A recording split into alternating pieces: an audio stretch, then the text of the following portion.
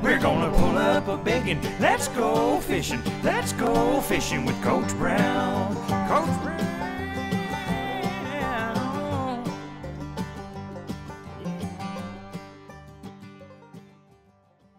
Hello, welcome back to Fishing with Coach Brown. Today we're going to learn how to tie a simple yet very strong fishing knot called the clinch knot. This is the knot I was taught when I was a kid and I still use it today. For the sake of you seeing better, I'm going to start off by using this giant hook and this piece of rope. First thing you want to do is put the end of your line through your eye, the hook's eye, not your own. You're going to give this five twists. One, two, three, four, and five. You'll put your end of your line through the loop that you just made. Then you're going to come back through the big loop that you just made. Now before you pull your knot tight, you want to lubricate your line, put it in your mouth, put some spit on it, or you can dip it in the lake if you want to. I never feel like laying on my belly and doing that. And then when you pull on this, you want to pull on the long end, the part toward your fishing pole.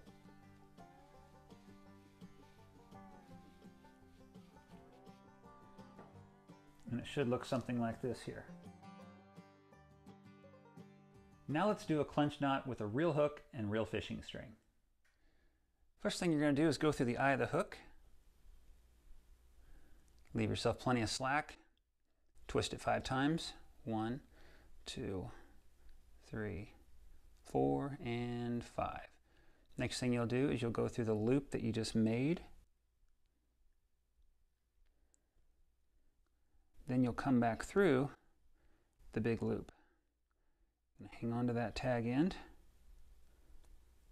Before we pull this tight, we want to lubricate it. Let me use my bit. Pull on the long end. And it will slide down to your eye. Nice and tight. Then clip off that tag end.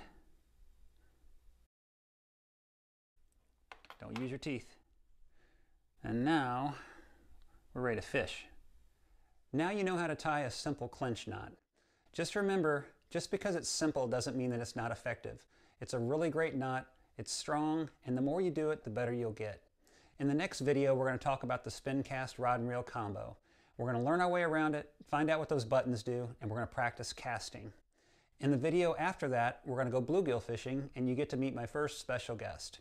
If you'd like to be notified of videos, please subscribe and press the bell. Thanks for watching Fishing with Coach Brown, and we'll talk to you soon.